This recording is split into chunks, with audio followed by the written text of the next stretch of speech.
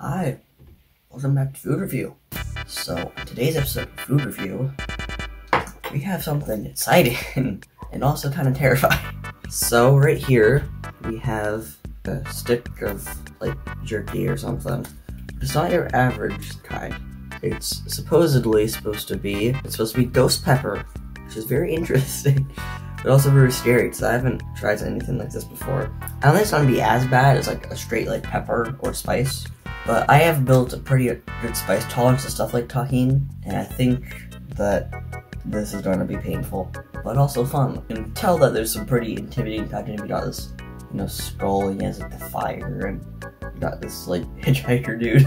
And because I'm ready for this to be extremely painful, we have a plastic cup full of ice cream, and we have the chalice. The chalice is back, and it's full of water. So yeah, let's try this. That's like a full kind of tab, like a cheese stick. There, how does it smell? So that's gonna be the concerning part. It smells exactly the same as the other one. I had another one that wasn't spicy and it was pretty good. Wish me luck.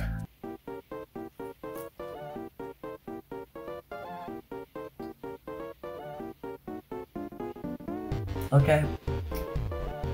There's ooh. I was about to say the first taste wasn't that bad, but spice got really deep in my throat. Yeah, is definitely a step up. This is actual like a ghost pepper. It's not like I, I, I doubt it's like as spicy as a ghost pepper. It is pretty spicy, but I think I've built a pretty good spice tolerance. So this isn't like as bad as I expected it to be.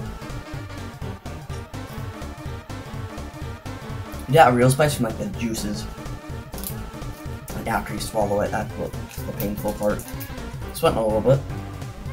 That's usual if I taste something like above my spice tolerance.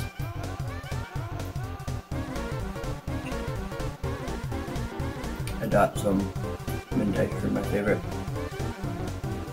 It looks very white on camera and white in real life. I promise it's mint.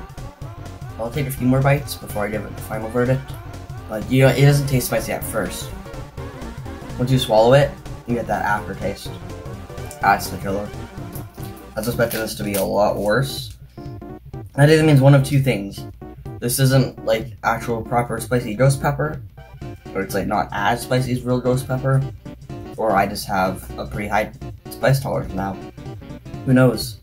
What Takis and Tajín phase off.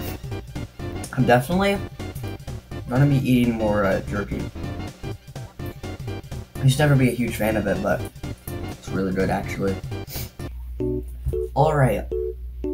Uh, for the final verdict. Spice wise, so I think for spice, I would give this rating of, I'd say this is about like, I don't know, 5 out of 10, 6 out of 10. Really not incredibly spicy, like, I was expecting to be in incredible pain, and I'm not. That's pretty good. This is pretty tasty. Taste wise, pretty good. Um, like I said before, I'm not a huge fan of like jerky kind of stuff like this, but this was really good actually. I really like this.